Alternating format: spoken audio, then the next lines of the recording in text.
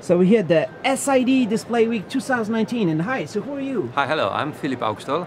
I am a product manager at the XTPL company. Uh, we specialize in uh, printing solutions for the flat panel display industry. We can achieve ultra precise feature sizes on the order of 1 to 8 microns. Uh, and, And this is for uh, what kind of market here with the Display Week? Is it for display industry? Yes, indeed. So we offer solutions for the Yeah. for the flat panel displays. There, yeah. So, uh, what are we looking at here in the video? What's happening? Uh, the video is a presentation of our company.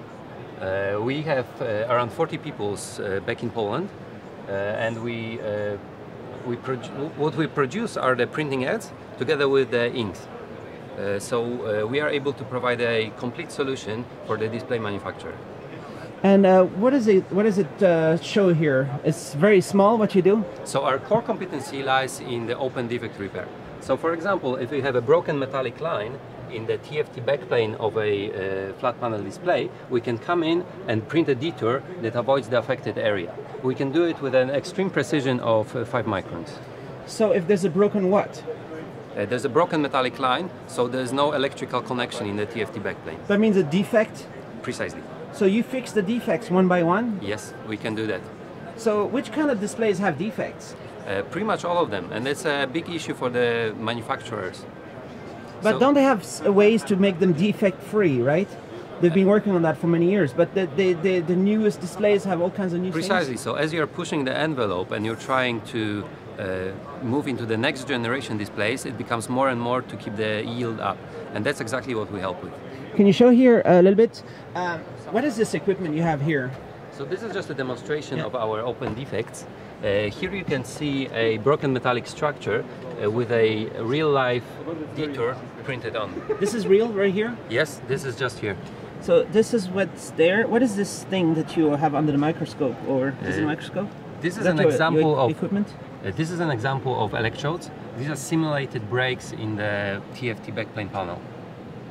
Simulated breaks. Precisely. So these are the simulated defects, and then you come in and print on the line that repairs that defect. Is this uh, other simulations here, or Uh, yes, indeed. So these are these are just examples of of, uh, of the repaired defects.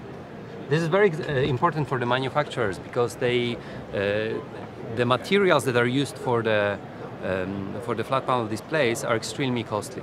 So the, the cost of materials amounts for around 60 to 80 percent of the whole cost of the fi- finalized display. Therefore, the manufacturers have big uh, interest in increasing the yield. 60 to 70 percent? Yeah. Is a is a bad yield.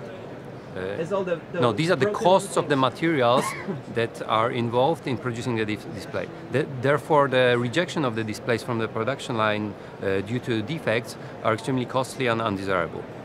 And you go to four microns, or how small? So we can go from eight, from one to eight micron feature sizes.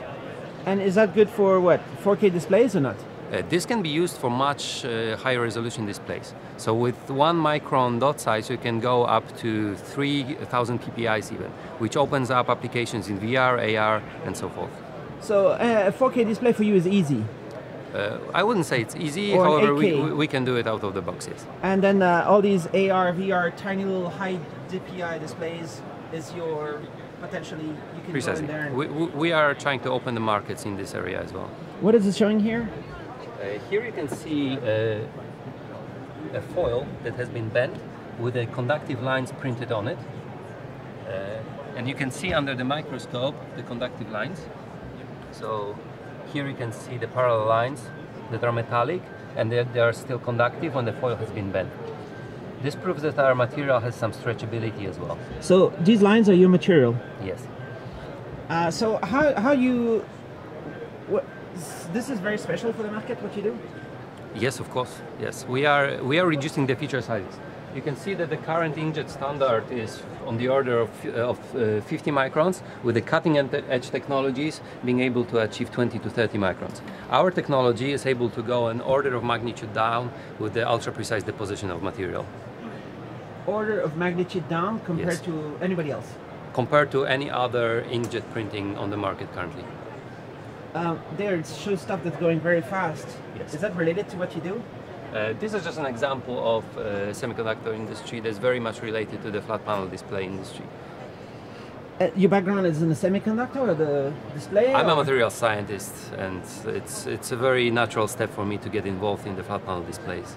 And where's your company based? Our company is based in Poland. Our headquarters is there. However, we have offices in the Silicon Valley, in Sunnyvale, in just around the corner from here. So here, the SID Display Week is perfect for you to to make uh, connections Indeed, with it the, is. the whole It's, industry. it's proven to be very effective.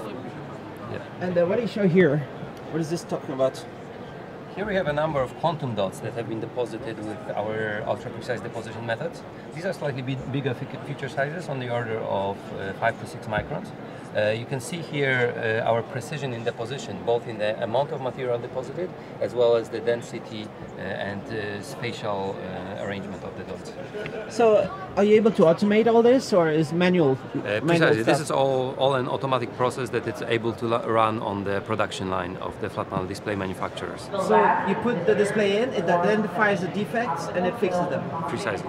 and it just works. So we work with the automated inspection equipment, uh, which identifies the defects for us, gives us the coordinates of the defects, uh, and then we come in with our printing head and repair it.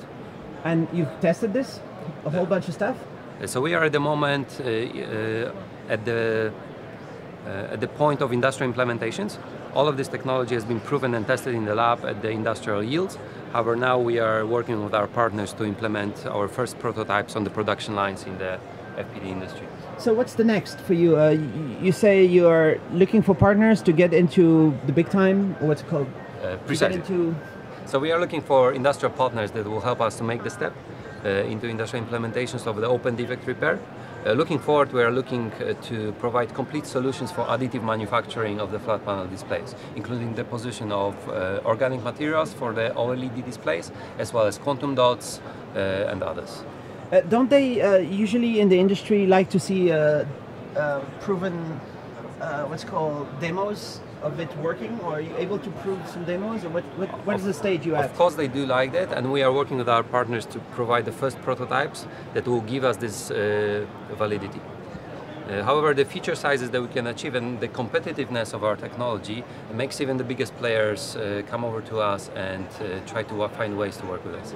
It's going to be really interesting this uh, this phase, right? To be discussing with giants and saying hey and hey, and they're like really, really, and It- then you it- say yes, of course, we, it works. It's a steep learning curve, and we are learning as we go. However, we believe that we can deliver what we promise.